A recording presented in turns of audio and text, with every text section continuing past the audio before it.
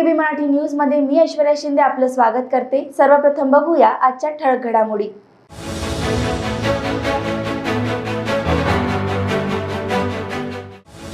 मुंबईतील कुर्ला परिसरात दुर्घटना. चार मजली इमारत कोसळली. वीस ते पंचवीस जण अडकले ढिगाऱ्याखाली.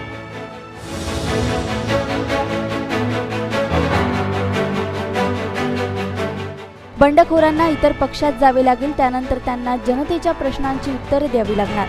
शिवसेना नेते सचिन अहिर यांनी पिंपरी चिंचवडमधील पत्रकार परिषदेत मांडले मत.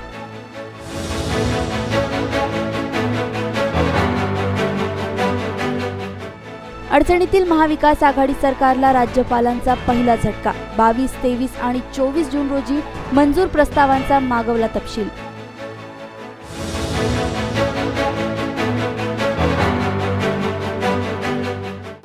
घडामोडींनंतर आता सविस्तर वृत्त. मुंबईतील कुर्ला येथील नाईक नगर परिसरात चार मजली इमारत कोसळली. काल रात्री साडे अकराच्या सुमारास ही घटना घडली असून ढिगाऱ्याखाली अनेक लोक अडकल्याची शक्यता आहे. घटनेची माहिती मिळताच अग्निशमन दल आणि पोलीस घटनास्थळी दाखल झाले आहेत. मदत आणि बचाव कार्य सुरू आहे. एन आय या वृत्तसंस्थेनुसार ढिगाऱ्याखाली वीस ते पंचवीस लोक अडकले असण्याची शक्यता आहे. आतापर्यंत चार ते पाच जणांना ढिगाऱ्यातून बाहेर काढण्यात आले आहे. मुंबईतील कुर्ला येथील नाईक नगर परिसरात चार मजली इमारत कोसळली आहे. ढिगाऱ्याखाली वीस ते पंचवीस लोक अडकले असण्याची शक्यता आहे. अग्निशमन दल आणि पोलीस घटनास्थळी हजर आहेत. बचाव कार्यात आतापर्यंत पाच जणांना बाहेर काढण्यात आले आहे.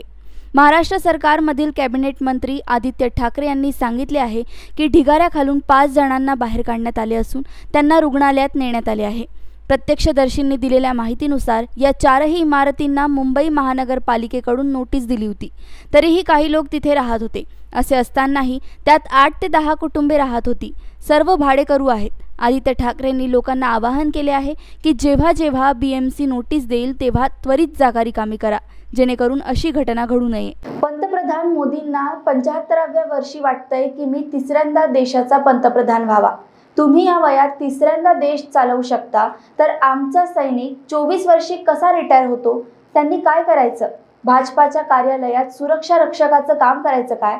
असा थेट सवाल काँग्रेसचे राज्यातील एकमेव खासदार बाळू धानोरकर यांनी केलाय. वरोरा येथे केंद्राचा अग्निपथ योजनेविरोधात काँग्रेसने मोर्चा काढला होता. त्यावेळी खासदार धानोरकर बोलत होते. अग्निपथ योजनेविरोधात काँग्रेसने वरोरा येथे निषेध मोर्चा काढला. खासदार बाळू धानोरकर आमदार प्रतिभा धानोरकर उपस्थित होते. यावेळी खासदार धानोरकर यांनी केंद्र सरकारवर चौफेर टीका केली. यावेळी नाही चलेगी नाही चलेगी मोदी तेरी तानाशाही नाही चलेगी अशी घोषणाबाजी करण्यात आली. तेव्हा एक आमदार एक खासदार पाच वर्षाचा कार्यकाळ करतो. तो पाच वर्षाचा जाऊ देऊ त्या नुसती शपथविधी जरी घेतला तरी त्याला पेन्शन लागू होते. नुसता शपथविधी जर आज घेतला आणि उद्या तो मरण पावला तरी त्याला पन्नास हजाराचं पेन्शन आमदाराला लागू होते खासदाराला पंचवीस हजाराचं लागू होते. मग या देशाचे सीमेवरती रक्षण करणारे आमचे सैनिक यांचा अपमान करणारा हा निर्णय आहे.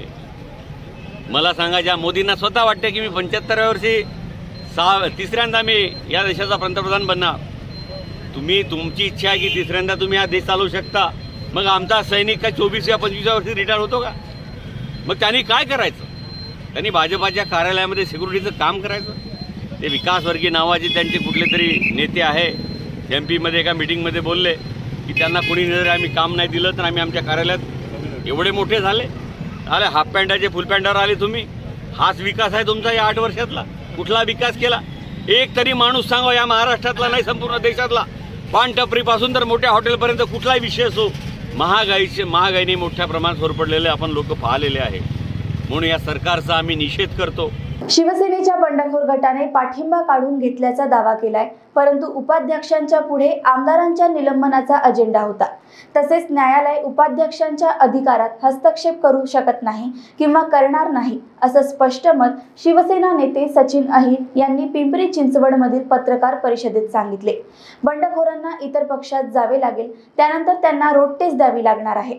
म्हणजेच ज्या आमदारांनी बंडखोरी केली आहे त्यांना परत आल्यानंतर जनतेच्या प्रश्नांना उत्तर द्यावी लागणार आहे. एकीकडं ईडीचा समन्स जो आहे तो या ठिकाणी येतो. दुसरीकडे याचिका दाखल केली जाते. तर आता एक बातमी आली की मुख्यमंत्र्यांनी जे बंडखोर मंत्री असतील त्यांची पदं काढून घेतली आहेत. एकंदरीत असं समजायचं की ग- शिंदेगड जो तिकडे गेला त्यांचं सुग्रही परतण्याचे सर्व दारं बंद झाले? तर बघा त्यांचे दारं त्यांनीच बंद करून घेतलेली कारण तुम्हाला माहीत असेल की उद्धवजींनी सांगितलं चोवीस तास तुम्ही या अठ्ठेचाळीस या तुम्ही या. त्यांचं त्यावेळी पण म्हणणं की तुम्ही माझ्याकडे या बोला. ज्यावेळी आपण आमंत्रण करतो तर मग काय घरात आपण काय त्यांना उचलून आणून बोलतो का? त्यांना निमंत्रण दिलं होतं आणि ते आमचे आहेत जीवाभावातली लोक आहेत.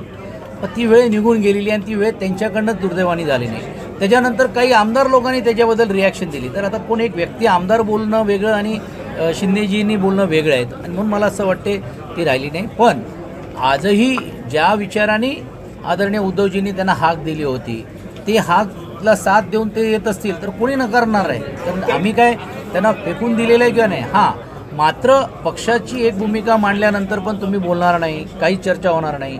मग तुम्ही पक्षविरोधी कारवाई करत असताना आणि मग तरी आणि पक्ष म्हणून घेऊन आम्हाला घटनेने दिला जो अधिकार आहे त्याची अंमलबजावणी आम्ही केली नाही. तर उद्या पक्षातले कार्यकर्ते पण आम्हाला जाब विचारतील ना का तुम्ही तुमचीच भूमिका संशयास्पद दिसते दिसते. आणि काही लोक तर असं संशयाचं वातावरण पण तयार करत होते. अरे तुम्हाला काय वेळ लागला का तुम्हाला वाटते का साहेबांना विचारल्याशिवाय आम्ही असं काय करू? अशी देखील भूमिका ज्यावेळी घेतली नंतर मग पक्षाला काहीतरी निर्णय घ्यावा लागतो. अत्यंत दुर्दैवी आहे आणि तुम्ही जर पाहिलं असेल की विधान परिषदच्या अगोदर देखील काही चौकशीची ज्या नोटिसेस होते ते अनिल परबजींना आणलेत आज संजय राऊतजींना येत आहेत. असं हे जे ह्या ह्याच्यातूनच स्पष्ट होत आहेत की बाबा एक आगळं वेगळं दबाव तंत्र वापरलं जातो आहे का? चौकशी चालली आहे ही चौकशी दोन दिवसानंतर पण करता आली असती चर्चा करता आली असती. पण हे न करता आज जे म्हणजे आणि विशेषतः जे त्यांनी जी आघाडी घेतलेली आहे या सर्व विषयाच्या बाबतीत कुठेतरी त्यांना थांबवण्याचा प्रयत्न होतो आहे का? पण तुम्हाला माहीत आहे त्यांनी त्यांच्या शैलीतीनंच सांगितलेलं आहे की अशा किती जरी काही गोष्टी जरी झाल्या तरी देखील निर्भय रीतीने या त्यांनी ही जी आघाडी घेतलेली आहे आणि जे लोकांसमोर वस्तुस्थिती आणि सत्यता जे मांडण्याचा प्रयत्न ते करतायत ते काम ते चालू ठेवते एकनाथ शिंदे यांच्या नेतृत्वाखाली सुमारे पन्नास आमदारांच्या बंडानंतर महाराष्ट्राच्या राजकारणात मोठा भूकंप झालाय. गुवाहाटीतील एकनाथ शिंदे गटाने महत्त्वाचा निर्णय घेत महाविकास आघाडीचा पाठिंबा काढण्याचा निर्णय घेतलाय. त्यामुळे महाविकास आघाडी नेत्यांच्या आमदारांना सूचना करण्यात आल्या आहेत. महाराष्ट्राबाहेर कुठेही न जाण्याच्या सूचना करण्यात आल्या आहेत. महाविकास आघाडीच्या आमदारांना मुंबईत कधीही बोलवण्याची शक्यता आहे. कारण राज्यातील सत्ता संघर्ष शिगेला पोहोचलाय. सर्वच पक्ष अलर्टवर आहेत. दरम्यान भाजपानेही तातडीने बैठक मुंबईत बोलावली आहे. भाजपानेही आपल्या आमदारांना मुंबईत बोलावले आहे. त्यामुळे राजकीय घडामोडींना वेग आलाय. दरम्यान घोडे बाजाराचा आरोप करत महाविकास आघाडी कोर्टात जाण्याच्या तयारीत आहे. बाळासाहेब थोरात यांनी हा इशारा दिलाय. मुख्यमंत्र्यांच्या उपस्थितीत मातोश्री निवासस्थानी काल महाविकास आघाडीची बैठक पार पडली. या बैठकीत सुप्रीम कोर्टाचा निर्णय आणि सध्याच्या राजकीय घडामोडी यांवर चर्चा करण्यात आली. राज्यपालांनी विश्वासदर्शक ठरावाला समोर जाण्याचे आदेश दिले तर कसं समोर जायचं या पर्यायांवरही चर्चा झाली. सरकारी वकिलांशीही यावेळी दीर्घ चर्चा करण्यात आली. गुवाहाटीत आमदारांना मारहाण होत असून त्यांना बेशुद्धीचे इंजेक्शन दिलं जातंय असा आरोप काँग्रेसकडून करण्यात आला. प्रत्येक आमदाराला पन्नास कोटी रुपये दिले जात आहेत असा आरोप थोरात यांनी केलाय. वेळ झाली आहे का छोट्याशा विश्रांतीची? भेटूया विश्रांतीनंतर. बाय सब जानना चाहते हैं। मेरा फेवरेट कलर मेरा फेवरेट डेस्टिनेशन मेरी फेवरेट डिश पर कोई ये नहीं पूछता कि फेवरेट डिश मैं बनाती कैसे हूँ। अरे यार जिसे टेस्टी खाना पसंद है वो अच्छे टेस्ट तक पहुँच ही जाता है। सुरुचि मसाले। खाने में हो रुचि तो घर लाइए सुरुचि। अपने सपनों की उड़ान भरने की इच्छा तो हर किसी की होती है। पर पंख भी तो मज़बूत होने चाहिए। जो देता है Flywheel aviation academy Flywheel aviation academy एक ऐसा इंस्टीट्यूट है जहाँ पर एयरलाइंस एंड एयरपोर्ट हॉस्पिटैलिटी और टूरिज़्म मैनेजमेंट साथ ही यहाँ campus interview guidance by industry expert practical training at airport expert faculty personal grooming जैसे कई सारे बेनिफिट्स आप पा सकते हैं। Flywheel aviation academy one degree three job opportunities Flywheel aviation academy gives you a degree or diploma with a job. Flywheel Aviation Academy, 365 Gandhinagar, Vijaya bank Nagpur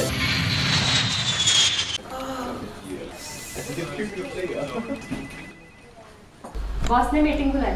क्या यार? आदमी की तकलीफ़ को तो समझो।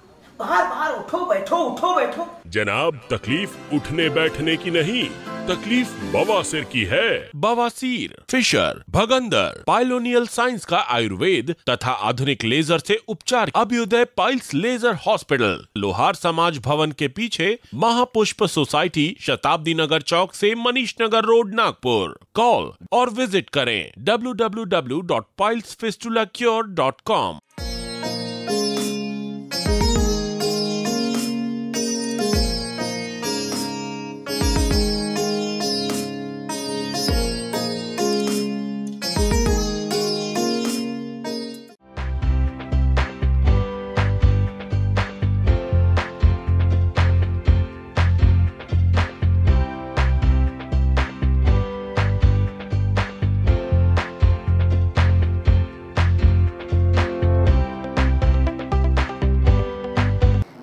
विश्रांतीनंतर आपलं स्वागत.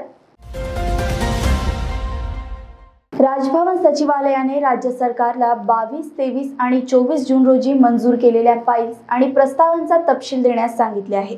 अनेक फाईल्स आणि जी आर हे मंत्रालयात घाईघाईत मंजूर केल्याच्या आरोपानंतर हे निर्देश देण्यात आले आहेत अडचणीत सापडलेल्या महाविकास आघाडी सरकारला राज्यपालांनी पहिला झटका दिलाय. राज्यपाल भगतसिंग कोश्यारी यांनी राज्य सरकारला पत्र लिहिलंय. बावीस तेवीस आणि चोवीस जूनला सरकारने मंजूर केलेल्या फाईल्स आणि प्रस्तावांचा तपशील राज्यपालांनी मागवलाय.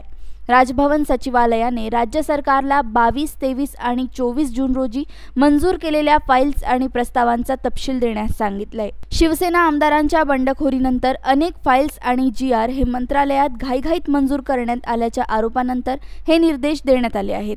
मागील आठवड्यात विधान परिषदेचे विरोधी पक्षनेते प्रवीण दरेकर यांनी राज्यपालांना पत्र लिहून सरकारने घाईघाईत घेतलेल्या निर्णयांवर राज्यपालांच्या हस्तक्षेपाची मागणी केली होती. अल्पमतात दिसणाऱ्या उद्धव ठाकरे सरकारकडून बिनदिक्कतपणे जारी करण्यात आलेल्या जी आरचा आढावा घेऊन त्यावर बंदी घालण्याची मागणी विधान परिषदेचे विरोधी पक्षनेते प्रवीण दरेकर यांनी राज्यपाल भगतसिंग कोश्यारी यांच्याकडे केली आहे.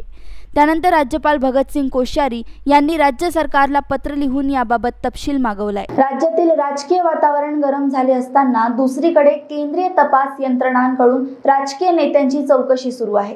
शिवसेना नेते संजय राऊत यांना ईडीने आज चौकशीसाठी हजर राहण्यासाठी समन्स बजावले आहे.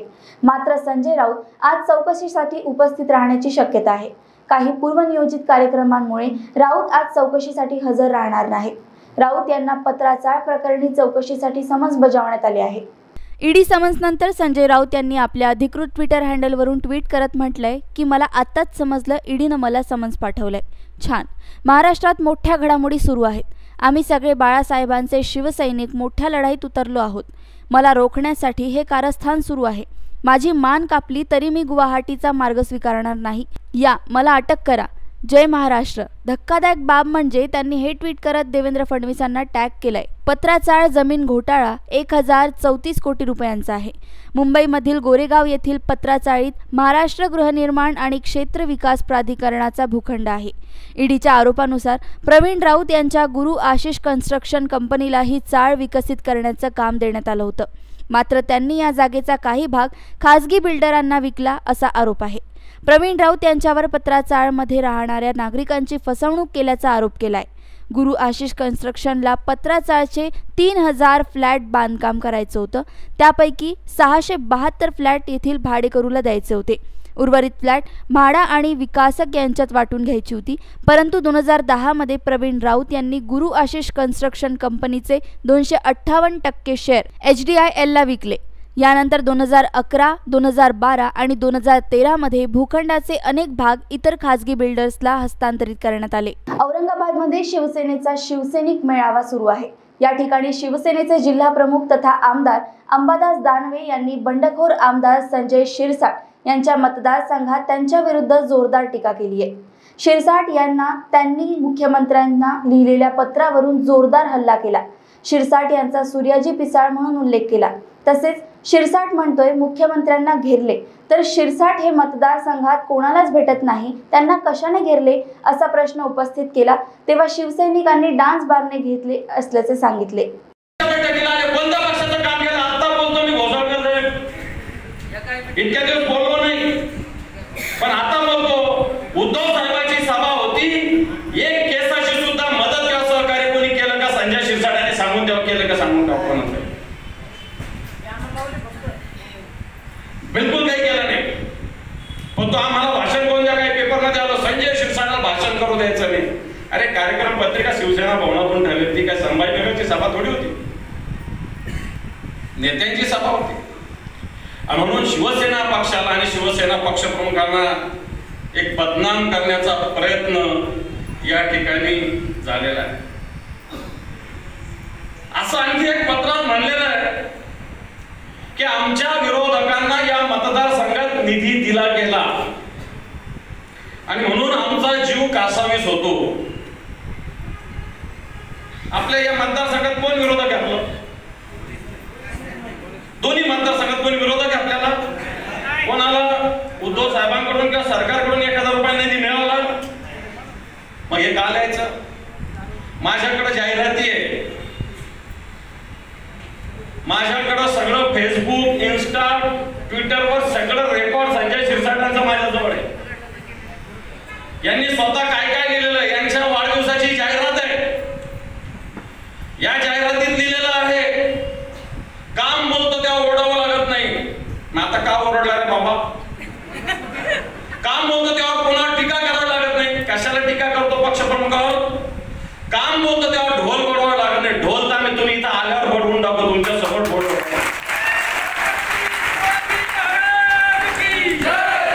तीनशे त्र्याऐंशी कोटी रुपयाचा सहा पदरी रस्ता. तीनशे त्र्याऐंशी कोटीचा सहा पदरी रस्ता बीड बायपास. हा काही नगर विकास खात्यामुळे होत नाही. ते तुम्ही बोला आशिष जयस्वाल यांच्या विरोधामध्ये शिवसैनिकांचा रोष उफाळून आला होता. लोकसभा क्षेत्राचे माजी आमदार प्रकाश जाधव यांच्या नेतृत्वात शेकडो कार्यकर्त्यांच्या उपस्थितीत ते रामटेक असा पंचवीस किलोमीटरचा निषेध मोर्चा काढण्यात आला होता. आमदार जयस्वाल यांच्या भूमीकडून आतापर्यंत ग्रामीण भागातून निषेध किंवा समर्थनार्थ कुठलीही प्रतिक्रिया बंडाच्या चार दिवसांनंतर आल्या होत्या. परंतु आता निषेधाची ठिणगी पडू लागली असल्याने माजी खासदार प्रकाश जाधव यांच्या नेतृत्वात भव्य निषेध मोर्चा काढण्यात आला. निषेध मोर्चामध्ये शेकडो संख्येने शिवसैनिक उपस्थित होते.